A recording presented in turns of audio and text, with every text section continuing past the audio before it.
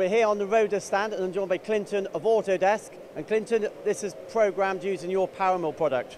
Yeah, it's an amazing example. So uh, we're cutting this lovely tool. Um, we're using a combination of PowerMill's high efficiency roughing strategies, Vortex, uh, and obviously our really cool five axis milling. And you can see the machine behind us is doing some amazing machine motion and really high accuracy surface finish. And that's what you expect with a Roders machine, of course. Yeah, I mean, I've been working with these beautiful machines for years. In fact, I remember being a lead engineer on a demo back in 2007 for EMO 2007. And at that point, I was blown away with just how cool these machines are. They're so reliable, so accurate, perfect fit for PowerMill. You don't look old enough to have been here in 2007. So clearly your eyesight's fading. You can see I've got way more white hair than I have had back then. No, joking aside, very stable machine you know, not just for finishing, but they've got the stability for, for roughing cycles as well.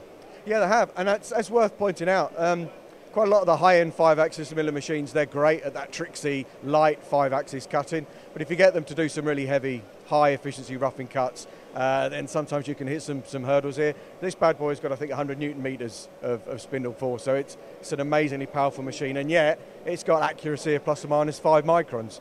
It's perfect, perfect combination, roughing and finishing.